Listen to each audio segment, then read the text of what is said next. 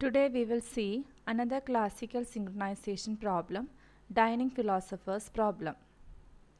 Now we know that it is one of the important synchronization problems similar to producer-consumer problem.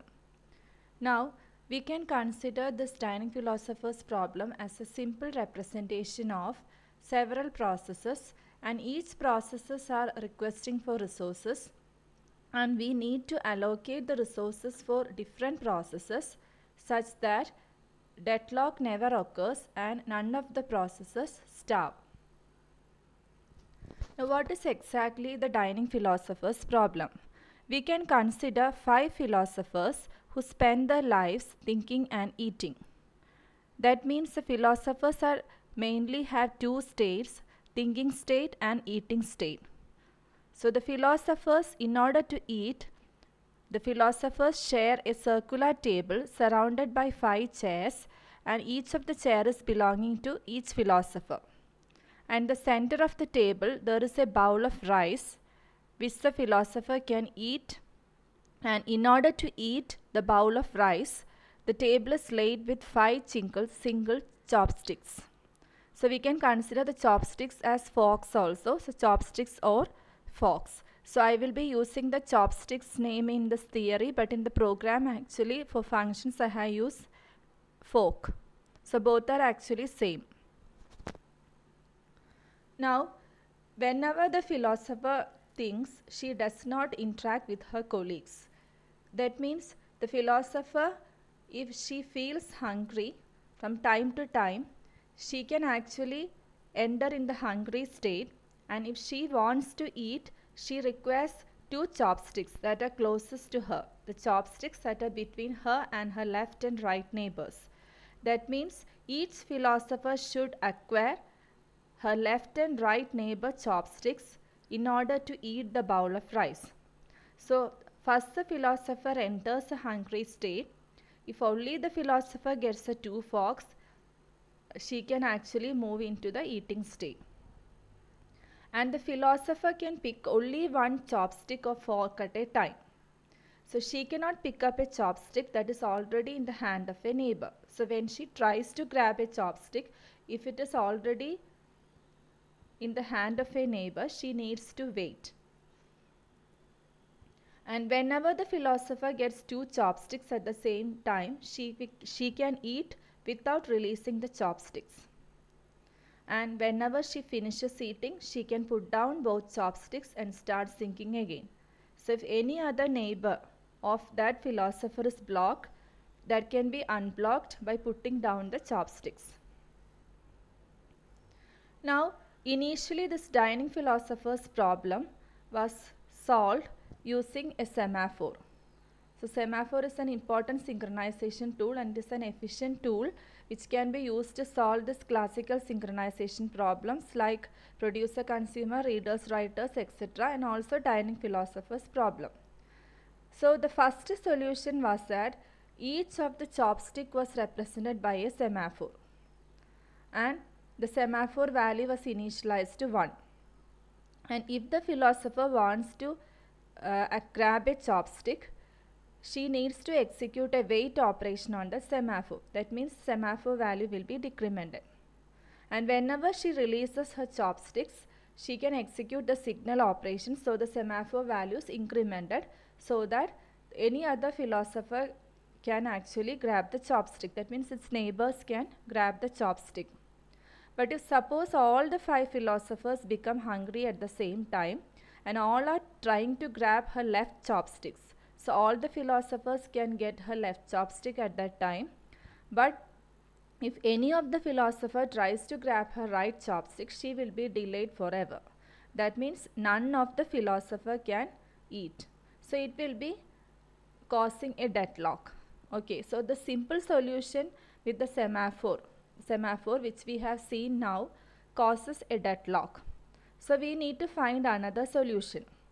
So we can use other synchronization tools like monitors etc. to solve dining philosopher's problem.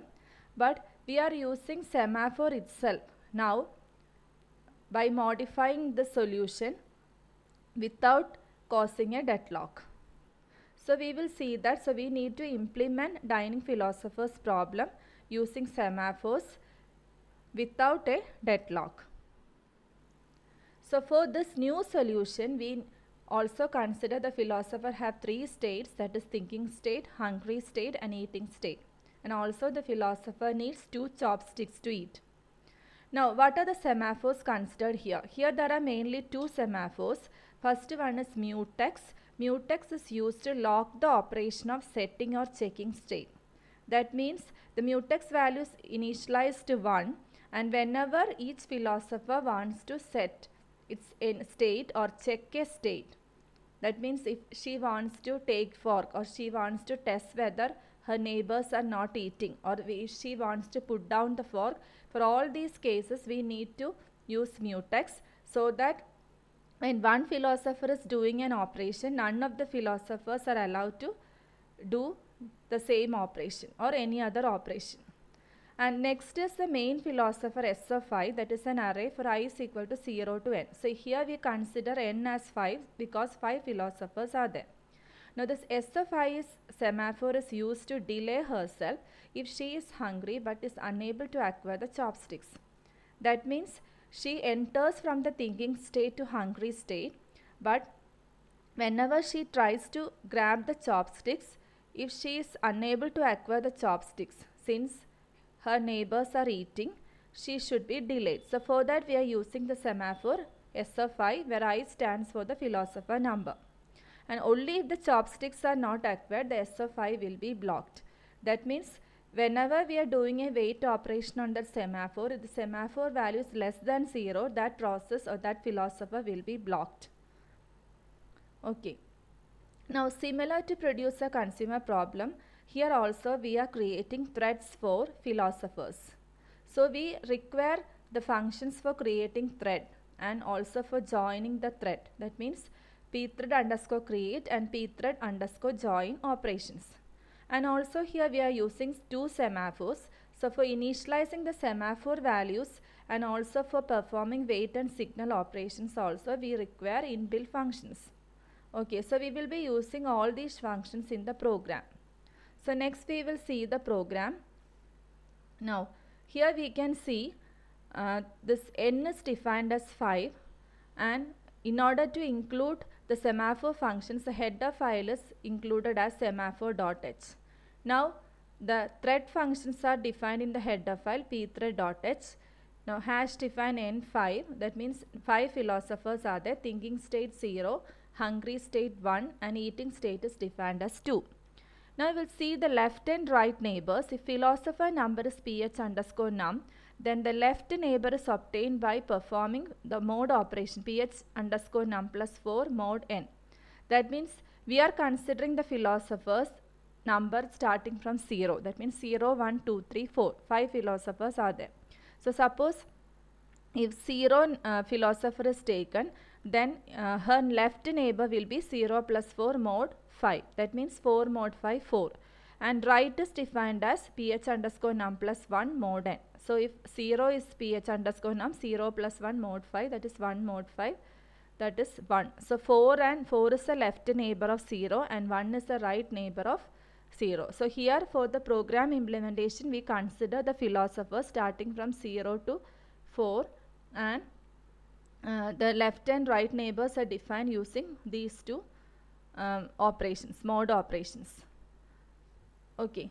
Now mutex is defined as uh, it is of the type mutex and this s of n semaphore is of the type sem underscore t. This is a default type which is defined in the header file semaphore.h.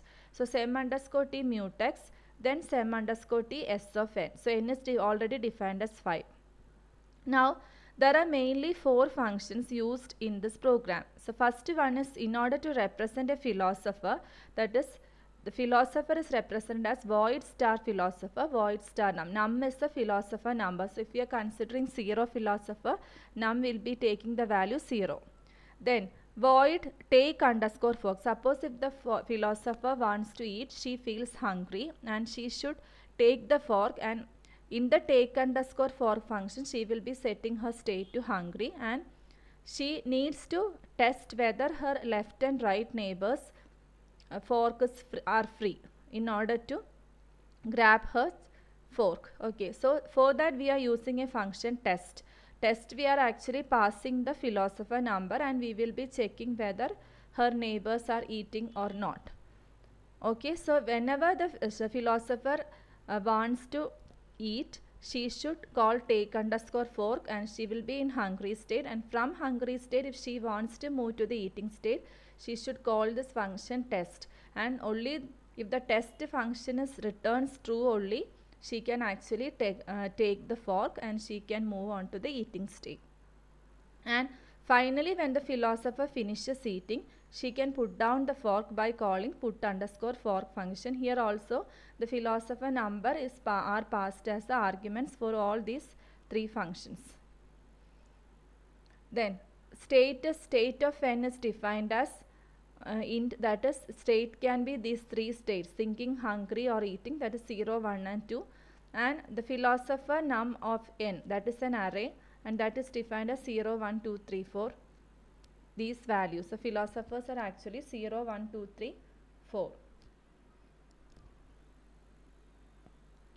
so next we will see the function explanation. Now here first we start from the main program. So this is a main program and here we are creating threads for each of the uh, philosopher that is 0 to 4 so that is of type pthread underscore t and thread underscore id of n. That means the thread id is for each of the philosopher 0 to 4 now this mutex value is initialized to uh, C1. So here already we have seen these functions, all these functions in producer consumer problem. So first one is a semaphore name. Second is since the semaphore is shared between threads, the value will be 0 and third is the initial value for the semaphore that is 1. Then for all these philosophers 0 to 4 we need to initialize the semaphore s of i as 0. So the S of i, no, please note that this semaphore S of i is initialized to 0 and mutex is initialized to 1. Okay. Now this uh, here also the first one is the uh, semaphore name and second is 0 since this is shared between threads and third is the initial value of the semaphore that is actually 0. Now for each of the philosopher we will be creating the threads. So here you can see we are calling pthread underscore create in this loop. First one is a thread ID, second is a thread attributes which is default as null and third is a function which is routine which is called on behalf of the thread created and the last one is the argument which is passed to this routine. So this philosopher function is called on behalf of the thread created and from the philosopher function we will be uh, calling the other functions and we can just print the uh, states of this philosophers that is uh, thinking state. Initially it will be in thinking state. So initially whenever the thread is created the philosopher will be in thinking state. So that is printed inside the loop. And uh, this pthread underscore join should be called for every thread since uh, the thread needs to wait until it, uh, it terminates. Okay so for that we will be using pthread underscore join. See, this function is also explained in producer consumer problem so we will see the functions in detail. Now the first function is philosopher. So whenever this thread is created on behalf of this thread this philosopher function will be called. So if philosopher function is called and inside that this num value is a philosopher number that is taken to i and we can put a delay of sleep of 1 uh, that any value we can give and suppose if the philosopher wants to eat she should actually feel hungry. So it, she will be calling the function take underscore fork. So this take underscore fork function we need to see the explanation.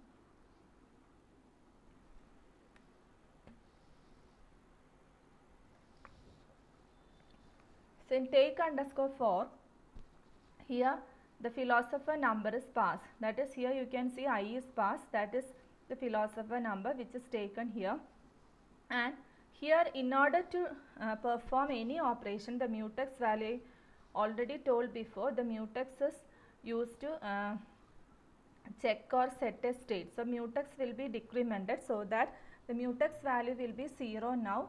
So none of the none other philosophers can perform a function. And uh, if it wants to take fork, she has to set her state as hungry. So inside take underscore fork, mutex is decremented and the state of that philosopher set as hungry. And we can just print that philosopher, uh, this philosopher number is hungry. Then after that, in order to uh, take this fork, it, uh, she has already set her state to hungry. Now she needs to test whether her left and right neighbor forks are free. So for that we are calling the test function. So test of ph underscore num. Here also the philosopher number is passed. So we move on to the test function. Now what is done inside the test function? The philosopher number is passed here and we check whether state of ph underscore num is equal to hungry. That means whether that philosopher is hungry. Only if she is hungry in hungry state only she needs to eat. And state of left not equal to eating. Left neighbor is not equal to eating and state of right not equal to eating. That means left and right neighbors are not eating state. If they are in eating state that means the fork is already in the hand. So if this condition, these three conditions are true only, this philosopher can go to eating state. So the state of the philosopher will be state to eating state and we can print that this philosopher takes this fork and this fork that is left and right. So while printing I, we can actually if it is 0 and 1 we can just keep left plus 1 or ph underscore in order to represent the philosopher number as 1 to 5. This you can actually change that is you can actually give the number 0 to 4 itself. This plus 1 is uh, not uh, essentially required and you can print that this philosopher state is eating and that philosopher number and after that we can see there is a post operation which is performed on ph underscore num that means this semaphore value was initially 0 now this value becomes 1 okay. Then we move uh, if this test uh, function is successful we will be moving to the statement after this test. Again the control comes here and the mutex is incremented so that any other philosopher can do an operation. Then again we are decrementing the value of ph underscore num. That is the philosopher's semaphore is again decreased again it becomes 0 okay. Now this will be more clear when I explain with an example after this. Now,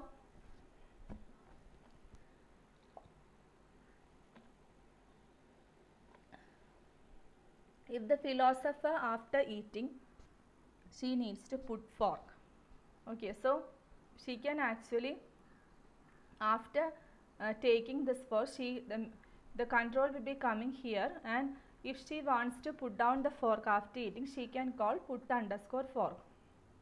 Now this put underscore fork function again the mutex value the philosopher number is passed and mutex is decremented it becomes 0 uh, and then the state will be moved to thinking state because she is putting down the fork and we can print that this philosopher is putting down this fork and this fork and it is in thinking state. This, this statement is all these statements are actually optional. You can just print the philosopher which is thinking.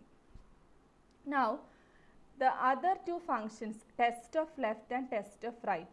So, here if suppose one philosopher is uh, eating and his left and right neighbors are blocked, we can check whether any of her left and right neighbors are blocked. So, in order to test check whether her left and right neighbors are blocked, we can call test of left and test of right and whenever it is calling test of left and test of right, the left, left means uh, the philosopher's left neighbor will be checked. That means if any of the philosophers are blocked, if this philosopher is sitting, that can be unblocked by performing the test operation. And again mutex is increment. So these are the basic functions. We'll see with an example.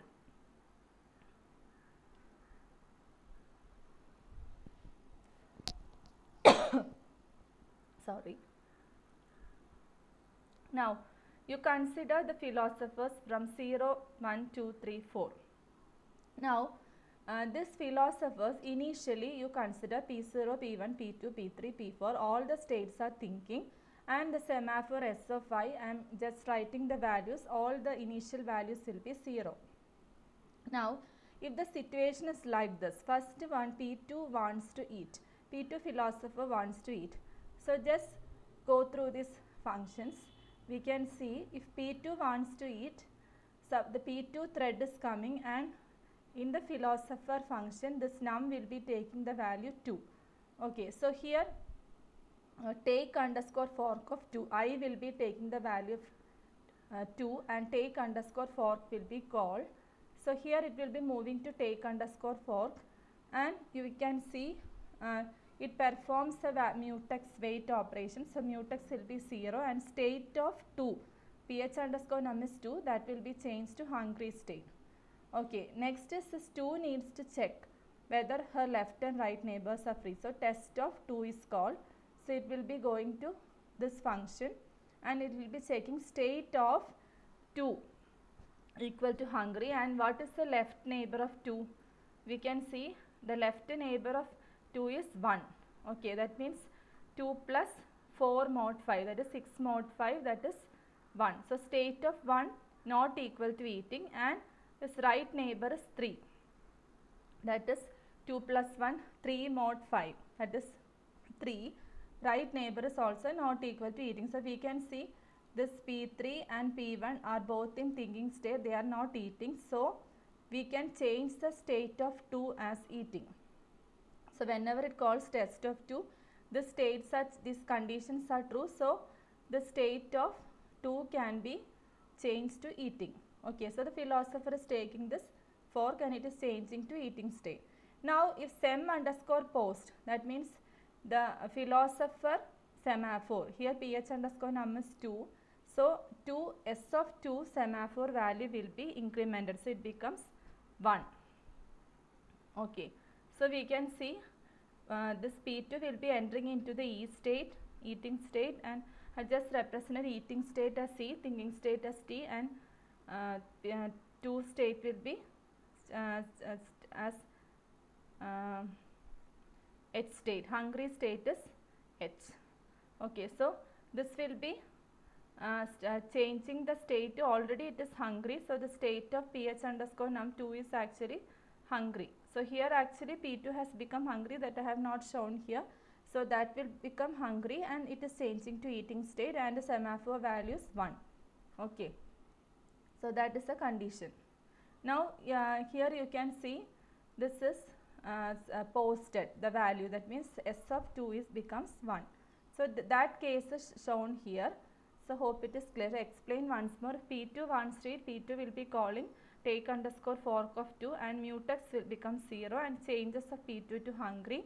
After that it calls test of 2. So test of 2 will be checking the state of 2 equal to hungry and uh, state of 1 that is left neighbor not equal to eating and state of 3 not equal to eating. So this these conditions are true. State of 2 can be changed to E and philosopher 2 can eat. So this philosopher number S of 2 will be changed to semaphore will be changed to 1. So that is shown here. Now after eating P2 suppose it returns to take underscore fork. So if P2 returns to take underscore fork then we can see here after testing this P2 will be returning to take underscore for this statement. So mutex is again incremented. So it was 0 now it is incremented to 1. Again this wait operation is performed on S of 2 that means again the semaphore value becomes 0. Okay, so now there is no change because when you are decrementing and incrementing there is no problem. Then the next case whenever another philosopher is coming you can change, see the difference. Okay, so now again this S of 2 becomes 0 and mutex has become 1. So that is shown here. The second case after eating P2 returns the mutex is 1 S of 2 equal to 0. So that is shown here. Now the P2 has not put down the fork. It has not called put underscore fork since it is thread. Any order the philosophers can come. So before putting down the fork suppose P3 wants to eat. So again the P3 will be calling the stake underscore fork of 3. So here you can see P3 calls stake underscore fork of 3. Now the mutex value will be decremented. Now mutex is already 1 so it becomes 0 and state of 3 will be changed to hungry. Again it has to test whether the neighbors of philosopher 3 is eating or not. So it calls test of 3. So it will be going to this function test of 3. Now whenever it checks the state of 3 equal to hungry that is true but state of left and state of right we can see that the state of 3 equal to hungry but left state of 2. This 2 state is already eating. It has not changed to thinking state. So it is, it is already eating. So that condition is false and state of 4 not equal to eating that is 2. Since this condition is false, this state of 2 equal to eating, P3 cannot eat. Okay, so this condition is false in the case of P3. So it will be again returning to uh, take take underscore fork. Okay, it will be returning to take underscore fork. Okay, so uh, uh, take underscore fork is a function. Sorry, it will be returning to take underscore. Here it is calling test test function. So test is false. So it returns the statement after test. So here it will be incrementing mutex. Mutex becomes 1 but you can see that whenever it uh, performs m underscore wait you know that this ph underscore num this value is already 0 only if this test condition is true this enters inside this if condition and it is true only it uh, we can increment the value of s of 3 so here s of 3 was initially 0 and this condition was false so s of 3 is still 0 now whenever it returns to take underscore fork this function sem underscore wait will be blocked on the semaphore. Why? Because it is already 0 and since it is whenever um, uh, by decrementing this uh, semaphore value it is still negative. Okay, so it can actually proceed. So S of 3 will be blocked. So P3 philosopher can actually proceed because P2 is eating and this will be blocked on this semaphore. So that is the purpose of using this semaphore S of 5. So I will repeat once more. If P3 wants to eat, P3 will be calling take fork of 3 and mutex is set to 0 decremented inside take underscore fork. Now state of 3 is hungry and it calls test of 3 to check whether its neighbors are eating or not. So whenever it checks it can see state of 3 is hungry but state of 2 its left neighbor is eating. So it's not equal to eating that is false. So it is eating and state of 4 not equal to eating. So that if condition in test function is false. So it can actually increment its s of 3. Now it returns to uh, take underscore fork and it increments the mutex value. Uh, mutex is as incremented as 1 but when s of 3 is incremented this p3 will be blocked since value is less than 0. That means it can actually proceed until it is unblocked by some other process. That is some other process should perform a signal operation on S of 3. Then only this P3 can be unblocked. So that we can know that this P3 is unblocked only when P2 put down its fork. Only P3, P3 is blocked since P2 is eating. So P2 has to put down the fork and unblock P3. So here you can see the states P3 is still in hungry state, P2 is still in eating state and the semaphore values all are 0. Now the next case, suppose P2 finished eating. Now the P2 is calling put underscore fork. So here you can see put underscore fork will be called. So P2 and it performs mutex wait operation and state of ph underscore num equal to thinking. So again the P, uh, P2 philosopher changes from the eating state to thinking state. So philosopher can actually put down the fork. Now this uh, in order to unblock its neighbors left and right neighbors to check whether any of the neighbors are blocked we can call again test of left and test of right. Okay so whenever test of left is called we can see test of left. Again left neighbor of of left neighbor of 3 is called. So what is the left neighbor of 3 we can see left neighbor of 3 is 1 okay so test of 1 is called. So whenever test of 1 is called what it is checking test of 1 means the state of uh, 3 is hungry and state of uh, here it is past sorry 1 so state of 1 equal to hungry and state of left not equal to eating and state of right not equal to it means again it is checking its left and right. So this condition is false. Okay so if one wants to eat uh, one as neighbors are not eating then one can actually eat by test performing this test function now here we can see whenever test of right is called test of 3 we can see already 3 is blocked. Okay so one don't want to eat. Suppose if one don't want to eat this condition is true but one if one wants to eat it can proceed. Now if test of 3 is called we can see state of 3 equal to hungry and state of 2 3 is left neighbor is 2 that is now not equal to eating because 2 has put down the fork okay and state of 4 that is a right neighbor not equal to eating. Okay so we can see state of 3 can be changed to eating and s of 3 will be incremented. How? Because here this condition is true for test of 3 so you can see inside this it will be performing a post operation of s of 3 we know that already s of 3 is blocked on the semaphore and only uh, by uh, in, at this time this s of 3 will be incremented to 1 so if s of 3 is blocked it can be unblocked by incrementing this semaphore value. So here we can see the semaphore s of 3 uh, is incremented to 1 so p3 was blocked before but now p2 is p2 unblocked p3 by incrementing s of 3 to 1 so that p3 can eat. So p3 will be hungry the state to one state and this can actually change from hungry state to eating state. Okay. So here I have actually put as hungry but this can actually change from hungry state to eating state. So hope it is clear